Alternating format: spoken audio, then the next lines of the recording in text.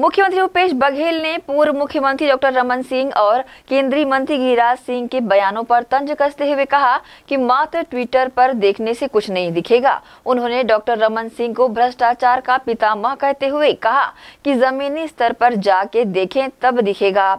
जिसके जवाब में ट्वीट करते हुए डॉक्टर रमन सिंह ने कहा कि हम सभी अब जमीनी हकीकत देखने निकले तो सिर्फ़ माफिया राज और उनके आका के विज्ञापन दिखाई दे रहे हैं। जनता से बात की तो पता चला कि गौठानों में न चारा है, न पानी है, बस भ्रष्टाचार की कहानी है।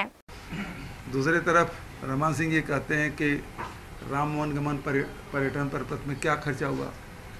तो जाए चंदखुरी जाके देख ले भाई। श्री नारायण चल दे, राजिम में चल दे, और अन्य जगह जहाँ काम चल रहे हैं, वहाँ जाके देख ले।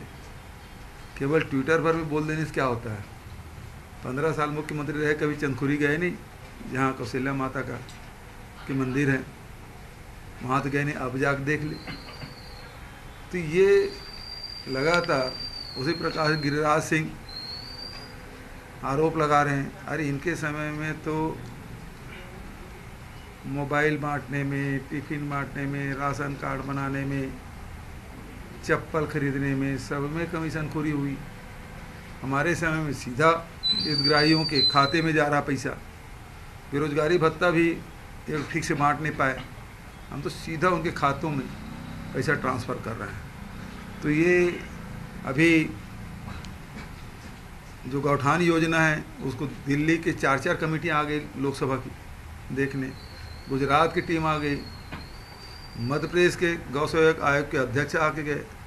सब तारीफ़ करके जा रहे हैं और ये घोटाला देख रहे हैं। उसी प्रकार से अभी ये कहते हैं कि रियाज सिंह जी, नरवा वाले कार्यक्रम में भ्रष्टाचार हुआ। अभी आठ दिन नहीं बीता है।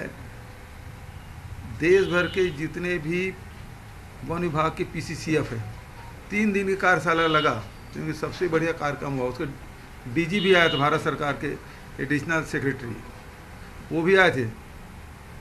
और उन्होंने तारीफ़ की जितना बढ़िया काम छत्तीसगढ़ में हुआ, उतना कहीं नहीं हुआ। अब ये लोग कहते हैं उसमें गड़बड़ है। तो दोनों प्रकार के, दो मुही हैं ये लोग। एक जने आप कुछ बोलेगा दूसरा कुछ बोलेगा। ये स्थिति इनकी है। तो ये तो केवल चुनाव के लिए ये लोग आए हैं चार महीना रहेंगे और चुनाव में इस प्रकार बोल बुला के चले जाएँगे। रमन सिंह जी ने